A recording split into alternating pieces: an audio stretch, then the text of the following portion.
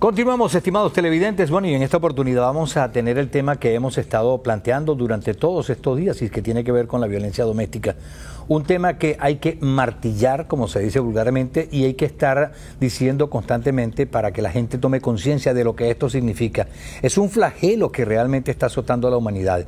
Y eso que estamos hablando de este hemisferio y estamos hablando del mundo occidental, porque hay que ver las cosas que le pasan a las mujeres, por ejemplo, en países como los de Asia en donde la mujer es menos que un animal, por decirlo así, en donde se le respeta y es prácticamente desconocida para muchos la, lo que es eh, la, deidad, lo que es eh, el valor de una mujer. Pero aunque se han hecho mm, varios avances, y yo diría que bastantes, ahora es cuando hay camino por recorrer. Y justamente ante esta situación hay épocas como estas, temporadas como esta, y estamos justamente en el mes de la violencia doméstica, cómo entenderla, cómo evitarla, cómo prevenirla. Hay una persona que ha trabajado muy a fondo en relación a este tema y de hecho ha sido voluntaria en muchos programas interesantes que ayudan a la mujer. Y está con nosotros en el día de hoy, es de la casa, Belkis Marcano. ¿Cómo estás, Belkis? Qué gusto.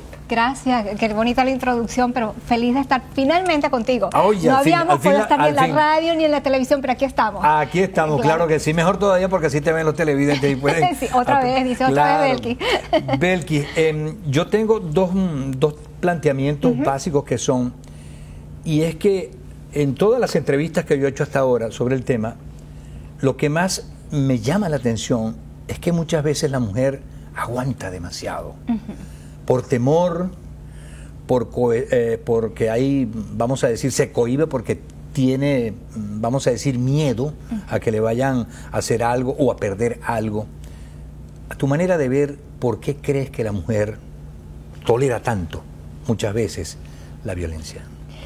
Mira, cuando las personas están afuera de la situación, piensan eso mismo, dicen, porque no entienden la dinámica y les parece eh, inconcebible que a estas alturas del partido, o sea, todavía existan mujeres que están tolerando una situación de violencia.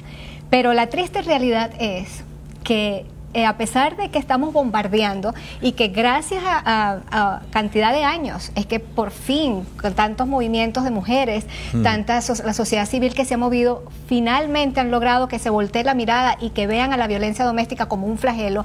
De hecho, estamos en el mes completico el mes de octubre contra, eh, concientizando contra la violencia doméstica, todavía hay que seguir educando a las mujeres y a los hombres para que entiendan cuál es la dinámica y en cómo se presenta la violencia doméstica. Y cuando tú dices educando desde edad temprana, desde muy pequeño. Absolutamente, ah. mira, si es verdad que hemos avanzado, lo reconozco.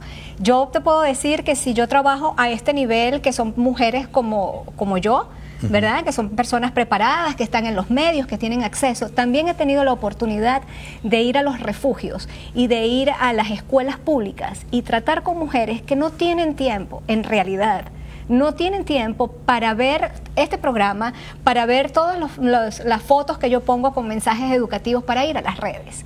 Entonces el problema se, se magnifica porque tú dices, bueno, ¿cómo, ¿cómo puedo yo hacer que a esta mujer lo que está pendiente es de que tiene que ir a trabajar para, para pagar sus biles? Mm. ¿verdad? Para pagar su teléfono, mm. luz, agua, su, todo su mm. carro, para estar pendiente de que Belkis puso una cara y que dice, este, tienes que concientizarte. O sea, eso, eso no puede ser. Tenemos que, tenemos que atacar desde, todo, desde todos los frentes. Entonces, hay mujeres que van a las terapias porque claro, de tanto que uno le dice que es el abuso emocional, psicológico, entonces se, se te sientan en la terapia y le dicen, eh, yo estoy aquí porque es que hay algo que en mi vida no va bien o sea, hay algo en mi vida que no va bien, o sea, hay algo que yo estoy inconforme. Y cuando empiezan a ahondarle, entonces empiezan a ver que en eso hay un trasfondo, que probablemente allí hay un maltrato, que vienen arrastrando, entonces sale, se abre la caja de sorpresa y empiezan a salir todas las cosas como por arte de magia.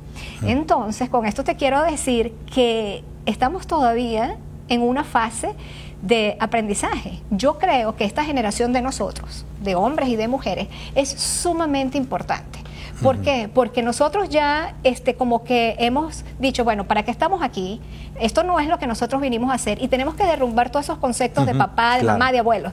Entonces, esta fase que estamos haciendo, esta generación, es sumamente interesante porque somos los que le vamos a delegar a nuestros hijos y a nuestros nietos los cambios de valores, de historias, y de todas estas cosas que hemos venido manejando. Yo creo que los cambios se van a ver, a ver en las próximas generaciones. Hay casos, por ejemplo, y esto va en la misma línea de lo que tú estabas planteando, que una mujer la maltratan, vamos a decir físicamente la agreden y lo tolera, porque el hombre después le pide perdón, le dice que no lo va a volver a hacer más nunca, y después pasa un tiempito y, y le vuelve a agredir. Después el hombre vuelve a rogar, vuelve a pedir que no, lo va a volver a hacer y, así se va extendiendo la racha. Cuéntanos un poco de este círculo vicioso. Sí, tú sabes que las estadísticas eh, dicen que eso se repite aproximadamente siete veces para que la mujer termine de concientizar de que eso no va para el baile. O sea, de que, de que no. O sea, de que no vas a cambiar ni en dos meses, ni en tres meses, ni no. O sea, aquí hay una relación de codependencia y de que yo tengo que romper con esto de que tú eres mi amor y de que yo no soy tu objeto, porque él nos ve a nosotros como un objeto. Entonces, bueno, puedes sacar la cuenta. Y además que son siete veces, pero la distancia no es que es una vez al mes y en los siete meses y es continuo, no, eso puede pasar en un periodo diferente porque cada una de nosotras reacciona de una manera diferente. Entonces esto es un trabajo eh, psicológico, yo no soy psicólogo, pero trabajo con, muchas, con muchos de esas la especialidad y me he ido empapando y me he ido educando en la materia y eh, tiene sus fases. Entonces, esto es un círculo que se da, que es lo que conocen como la, luna de miel. Y pues bueno, sí, muchas personas hemos pasado por esa situación porque es que uno no puede creer que, que, la magia se termina de esa, de esa forma así tan, tan brutal, ¿no? ¿Hasta dónde es posible tolerar y cuándo debe tomar la mujer acción? La mujer toma, la, toma acción cuando ya está en el punto que no tiene retorno. ¿no? Tú le puedes ir diciendo a ella, puede ser que yo le esté diciendo en este momento, si estás en emergencia, llama al 911, unos teléfonos que vamos a pasar ahora. Pero si tú no estás preparada mentalmente para dejar al abusador, pues entonces podemos ir como que, le podemos ir como que diciendo cosas y ella poco a poco lo va, o sea, lo va, lo va internalizando y ella sola ella sola te va a llamar por teléfono y te va a decir, ya no puedo más. O sea, ya no puedo más. No soy yo la que se lo tiene que decir. Nosotros somos las personas que los estamos ayudando, que los estamos apoyando, que los estamos orientando, que le estamos facilitando el camino para que sufran menos. Pero la decisión, nosotros tampoco les podemos decir a ellos, ya te tienes que ir mañana de la casa. Tampoco. A nosotros también nos lo han dicho la policía. nosotros no podemos decirle que ella te puede ser una responsabilidad que tiene que tomar ella, porque solamente ella sabe cómo está su entorno de inseguridad. Es es tristemente fascinante porque de verdad que te adentras a la psicología, al perfil del, del abusador, de la mujer, este, vas aprendiendo y entonces tú tomas las cosas con mucho más respeto. Me gusta cómo le explica. Bueno, es que como eres periodista también tienes esa facilidad y por eso eres facilitadora. Mira, cuéntame algo, porque no quiero que se pase el tiempo y no vayamos a decir los teléfonos. En el sur de la Florida, ¿tú tienes algunos teléfonos, alguna este, información? Muy fácil. Si usted está en emergencia, llame al 911 o llame al 1-800-799-SAFE. Ahí se lo van a poner en pantalla. Y en las ciudades principales de Estados Unidos Exacto, hay ese, ese, teléfono en general 1-800, porque yo sé que ustedes se ven en muchas ciudades. 1 800 tenemos el 1 800 799 SAVE. Exacto. Ahora, si están en Broward, el teléfono es 954 761 1133. Esa es una línea de, de, de, crisis. No, hemos colocado también el número en pantalla. Y luego, si estás en Miami, porque ustedes se ven por todas partes y yo vine equipadita con la información, es 305-693-1215. Ok, ¿podemos repetirlos? Sí, en Broward 954-761-1133 y en Miami 305-693-1215.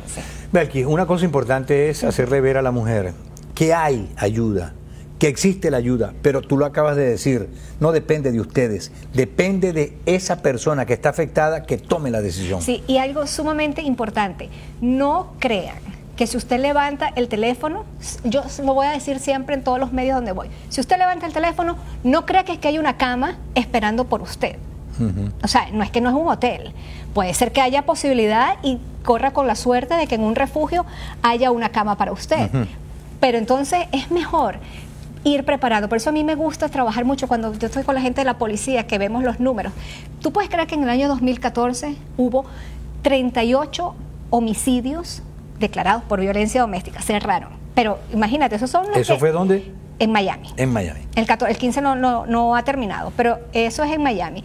Pero de homicidio. Pero imagínate tú los que no llegaron a feliz término, o sea, pues porque no hicieron la denuncia. O los que hicieron la denuncia después se echaron para atrás porque, ay, porque eso es un proceso muy largo, porque sí es largo, señores. O sea, es largo. O los que no lo Pero saben. hay que empezarlo. Pero hay que empezarlo. Hay que empezarlo de alguna forma. Entonces, eh, este, la policía pues este, dice, ¿cómo podemos hacer? O sea, se, se, nos llenan los expedientes. Entonces, estamos en esta parte. Yo no soy una fundación, yo no soy una organización, yo soy una facilitadora, soy una vocera, voy a los medios y la gente cuando me ve, luego me llaman y yo les digo, bueno, ve para la fundación tal, ve para la organización tal, busca el psicólogo tal, o sea, porque más o menos tengo gente que, que les puede uh -huh. ayudar, pero yo de verdad, o sea, es que ni siquiera vendo un libro, o sea, yo no tengo, o sea, soy Mira, yo. pero de todas maneras, después de verte acá, mucha gente irá a preguntar, bueno, ¿y a qué dirección electrónica le podríamos escribir a Belkin? Contacto arroba belkismarcano.com. Contacto arroba Belkis Marcano. La que hay que tenerla en cuenta. Sí, belkismarcano.com. Entonces, este, estamos para, para orientarlos, estamos para decirles, pero a mí me gusta trabajar con ellos cuando no están en la crisis, porque de verdad, cuando están así, o sabes, muchas veces este, es complicado. Terminó el tiempo, pero quiero que me repitas, por favor, los teléfonos para Sí. que los tengan en cuenta. Este, el general es muy fácil, 1-800-7996. Ujú, ahí El de. Broward 954-761-1133 y en Miami 305-693-1215. Celebro que haya gente como tú que ayude al prójimo de la manera que tú lo estás ayudando. Con mucha Qué placer tenerte. Igualmente, Y digo que de- se repita, porque realmente esa ayuda es valiosa y no solamente la y un- necesita mucha gente, y es sino un que debe- tema sumamente largo. Claro que sí, lo seguiremos planteando, claro que sí. Gracias, Belki. No, a ti por invitarme. Con el mayor Ok, de Feliz fin de semana. Claro, igual para ti. Vamos a hacer una pausa, volveremos en breve con más de nuestro programa del día de hoy. Esto es Análisis por TV Venezuela.